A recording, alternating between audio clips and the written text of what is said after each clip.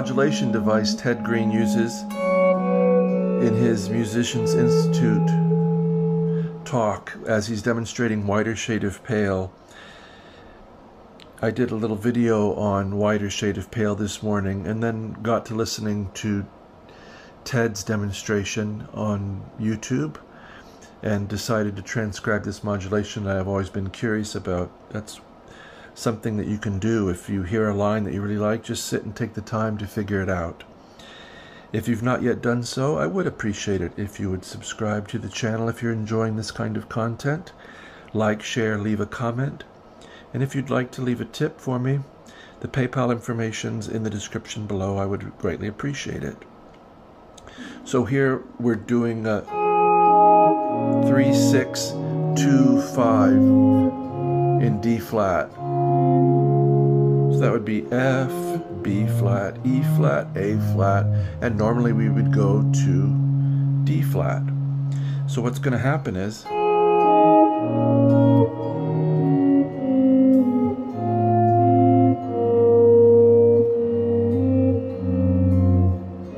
we're going to get to D flat, but we're going to get there through a rather circuitous route. So we have F minor, a tenth, that mighty interval, 8 and 9 of strings 5 and 2, and the, the minor 7 leading down to B flat minor. Here I'm catching 6th fret of the 6th frets of the 6th and 3rd strings. And then I'm getting this outer B flat here on the first string. So it's three notes, but I'm getting them all with a bar. Then we do nearly the same move from F minor, same deal, E flat minor 7, 6, 7, and 6, E flat, G flat, D flat, now we get A flat 7, A flat and C, 4 and 5 on string 6 and 3, and again we're getting the outer A flat on the first string.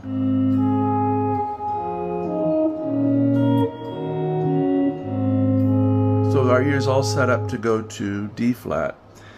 As best as I can tell,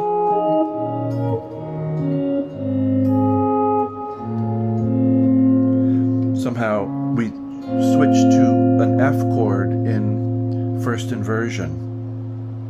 And this is going to lead to a little cycle back down to uh, D flat first inversion.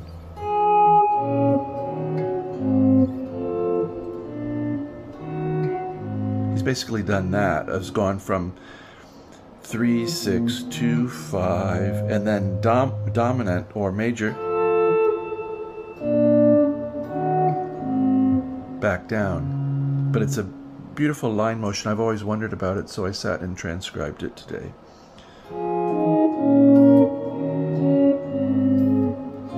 So here's a full F over A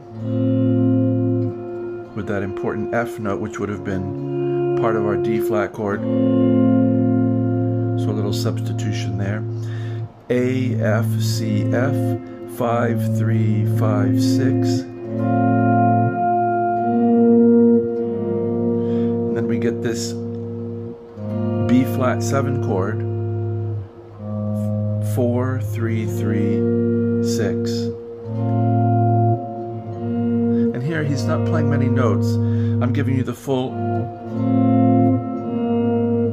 full chord with the F here on the fourth string, but it kind of sounds more like this, where it's just A flat, B flat, and F. But so you know, this is a third inversion B flat 7 chord, B flat over A flat. And then he's going to exploit that motion again.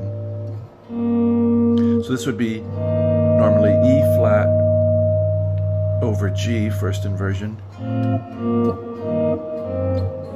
it would be this, but he's leaving some voices out, so it's mostly just a bass note here, but it's it's meaning E flat major over G.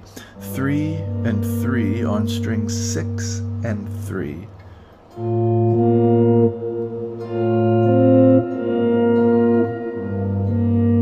More or less is the sound. If you want the full chord, it's here. Then we get, he just really hits two notes.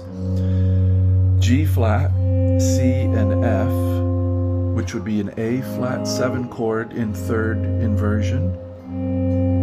But he's doing this to get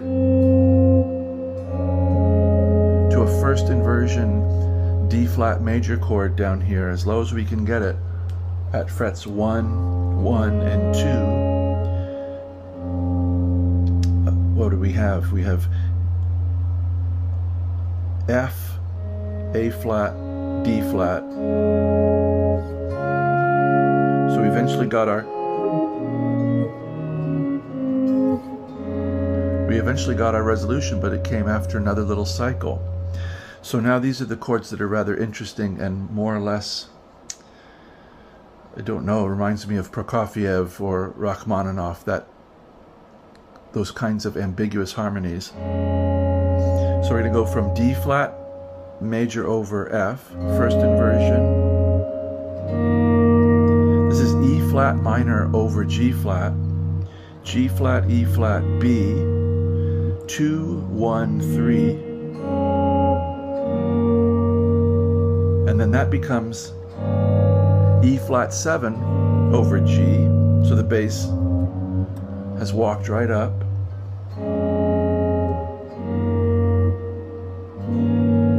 G, E flat, B flat, D flat, 3, 1, 3, 2. And now the really surprising thing, he does this on his solo records too a lot, these same kinds of pulling up. It's uh, it's also in the song. Um, it's Waltz for Debby.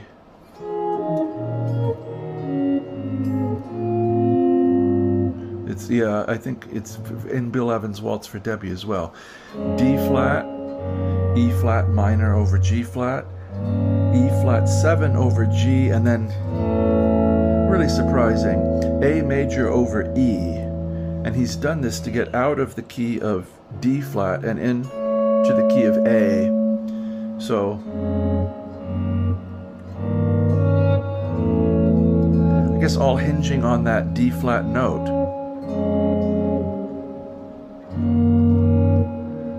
Yes. So D flat suddenly becomes C sharp there. It's an A triad, E, A, C sharp, 2, 2, 2 on strings 4, 3, 2 with an E, 6 in the bass uses that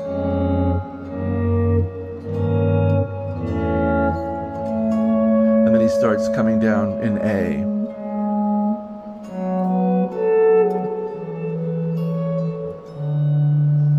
And carries on. So I hope this might be of interest. It's a nice modulation trick. I'll have to work with it myself and see what I can relate it to and maybe integrate it into something. But Ted was brilliant at having modulations that were really unexpected. I know he worked on them very hard. If you look on the lessons page at tedgreene.com, there's whole pages on modulation devices. I do hope this finds you very well, and I wish you, of course, a very good day.